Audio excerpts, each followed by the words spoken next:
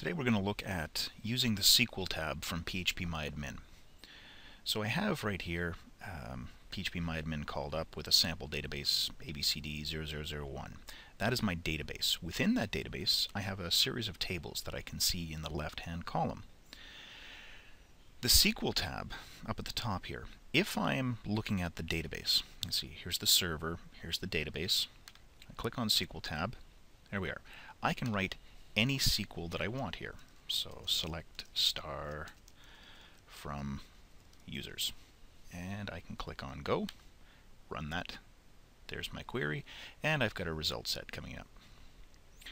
Now, when I ran that, because I sele said select from users, it automatically jumped to the users table.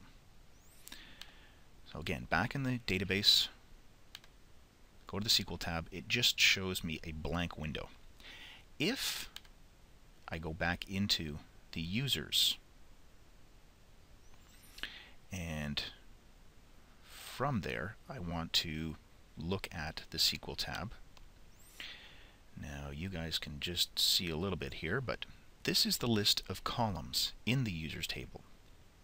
Because I'm in the table users and I'm running something on the SQL tab, it defaults to select everything from the users and it says where 1.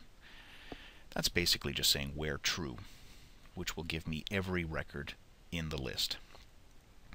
Here are the columns. If I want to replace this star with specific columns, I can click on one and say stick that one in there. And then I'll put a comma, space, then the email field. There we are. Now it's going to retrieve all that when I click the Go button.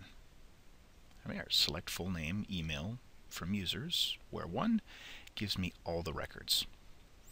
Now there is uh, an interesting thing to note here. You see these things, they look like quotes, but they're actually not quotes.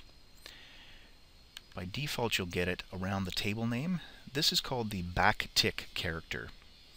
And if you look, if you're on a, a Mac keyboard, on the top left hand corner there is the tilde character which looks like that, and then just below it is the backtick character.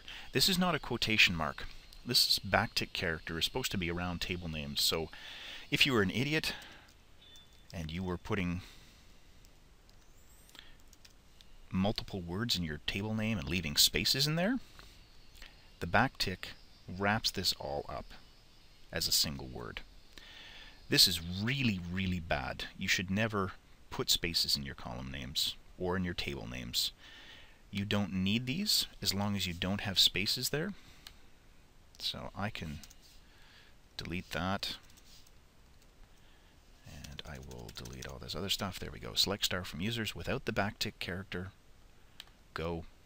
There we are. Runs just fine without the backtick character. I just want you to know that this is not a single quote that they're putting there. It is the backtick. And that's it.